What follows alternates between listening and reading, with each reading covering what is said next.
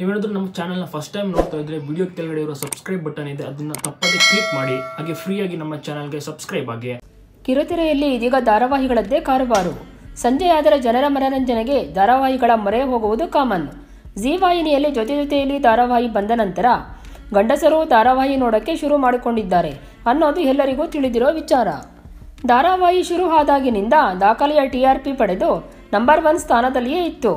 ಇಡೀ ಸೌತ್ ಕಿರುತೆರೆ ಇಂಡಸ್ಟ್ರಿಗಳು ತಿರುಗಿ ನೋಡುವಂತೆ ಮಾಡಿತ್ತು.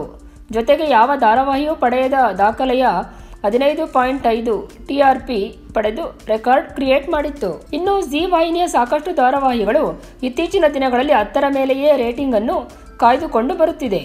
ಹೌದು ಜಿ ವಾಹಿನಿಯ ನಾಲ್ಕರಿಂದ ಐದು ಧಾರಾವಾಹಿಗಳು ಅತಿ ಹೆಚ್ಚು ರೇಟಿಂಗ್ ಪಡೆದು ಪಟ್ಟಿಯಲ್ಲಿ ಇರೋದು ವಿಶೇಷ. ಇನ್ನು ಇದೀಗ ಜೊತೆ ಜೊತೆಯಲ್ಲಿ ಧಾರಾವಾಹಿಯನ್ನು ಹಿಂದಿಕ್ಕಿ ಮತ್ತೊಂದು ಧಾರಾವಾಹಿ ನಂಬರ್ ಒನ್ ಪಟ್ಟವನ್ನು ತನ್ನದಾಗಿಸಿಕೊಂಡಿದೆ. ಹೌದು ಜಿ ವಾಹಿನಿಯ ಮತ್ತೊಂದು ಧಾರಾವಾಹಿಯಾದ ಗಟ್ಟಿಮೇಳ, ಇದೀಗ ಕನ್ನಡ ಕಿರುತೆರೆಯ ನಂಬರ್ ಒನ್ ಧಾರಾವಾಹಿಯಾಗಿದ್ದು, ಹದಿನಾಲ್ಕಕ್ಕಿಂತ ಹೆಚ್ಚು ರೇಟಿಂಗ್ ಪಡೆದುಕೊಂಡಿದೆ.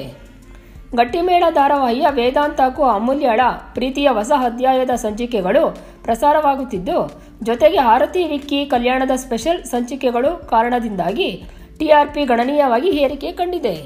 ಗಟ್ಟಿಮೇಳ ಒಂದನೇ ಸ್ಥಾನದಲ್ಲಿದ್ದರೆ ಜೊತೆ ಜೊತೆಯಲ್ಲಿ ಧಾರಾವಾಹಿ ಎರಡನೇ ಸ್ಥಾನದಲ್ಲಿದೆ. ಮೂರನೇ ಸ್ಥಾನದಲ್ಲಿ ಹೊಸ ಧಾರಾವಾಹಿ ನಾಗಿಣಿ ಟು ಇದ್ದರೆ ಅದೇ ವಾಹಿನಿಯ ಪಾರು ಧಾರಾವಾಹಿ ನಾಲ್ಕನೇ ಸ್ಥಾನವನ್ನು ಕಾಯ್ದುಕೊಂಡಿದೆ.